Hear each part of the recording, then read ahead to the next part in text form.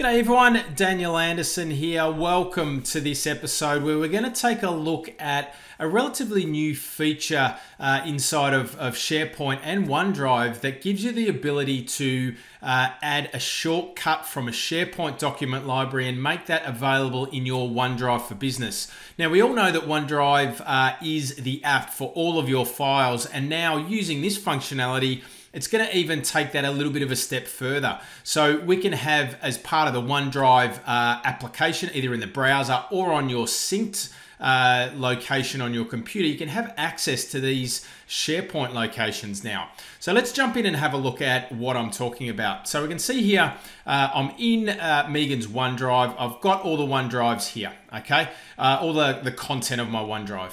Now, if I also have a look now at my synced uh, location, so I can have a look here, at OneDrive for Business, uh, Contoso there is synced to my computer.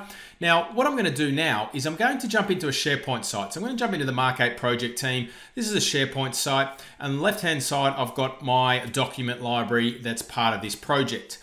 Now you can see here there's a number of uh, folders here. Now coincidentally, this is part of a Microsoft team, so these folders are actually associated to channels.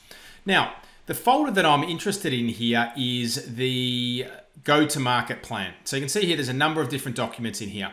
But what I want to do is I want to make those accessible to me via my OneDrive for Business. So I don't have to think about where to go.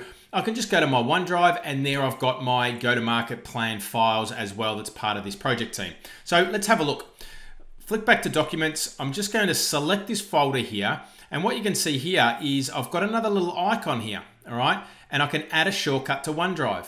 Or I've got the option here uh, in the command bar at the top. Let's click that add shortcut to OneDrive. You can see on the right hand side that it's now been added to my OneDrive. If I now jump back into my OneDrive here, I'm just gonna refresh this page. And what will appear here is the go to market plan folder.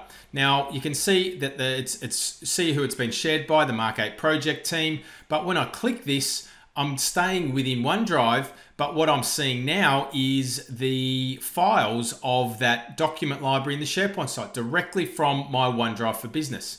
Now, if I also now open up my sync location, you can see here that I've got a folder, go to market plan, I open it, and there's all my documents from that SharePoint location. So that's part of a, a team site. Now, the other situation that could be uh, this could be used for is that now I'm on my intranet site. So I'm in a policies and procedures um, library here, and I can do exactly the same thing. All right, so I can click add shortcut to OneDrive. It's going to add this shortcut to OneDrive. I've now got policies and procedures dash about us. Now let's have a look at our OneDrive for Business. Let's just refresh this. And now we can see here that I've got policies and procedures inside my document library here too. Now, what you'll also notice is that I've got the metadata that's associated to that library that's come through here too. So I can now filter and sort and uh, do what I need to do with the metadata directly from the OneDrive for Business browser experience here too. Now, let's jump into the sync location. You can see here that I've now got this policies and procedures folder in my OneDrive sync location. I can click this, I can open this file now, and it's going to open up in uh, Microsoft Word, and I can now interact with that, uh, that document. Now, one thing to note here that I just want to bring to your attention too is that um, you can actually adjust the metadata that is in the SharePoint library from within the Word client. So I'm in the document, I've opened it up, I click on the share under the view tab here, I've got the option to have a look at the SharePoint properties. You'll see on the right hand side here that I've got the actual metadata or the site columns that are associated to that library. So let's say I want to change the business area of this document and the tag here.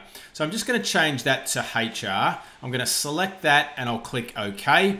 I might want to change the office location as well. Let's change that to London and we'll scroll across here and we'll click OK. We're automatically saving this document here because autosave is on. Once that's saved, it's then going to sync back up to the SharePoint document library and that metadata will also be changed in that document library as well. So we'll just wait for that to save. we will jump back into the, uh, the SharePoint library and we'll take a look at how that metadata has changed as well. Okay, so that's now saved.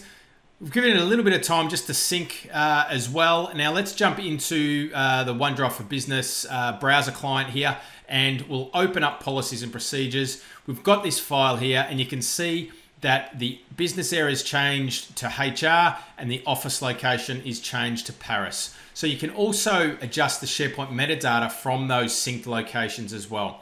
So this, the ability here now to be able to add a shortcut to your OneDrive for Business really does mean that OneDrive for Business does become uh, the, the, the only app that you may require to access your files. So I hope that brings you some value today, and I'll see you in the next episode.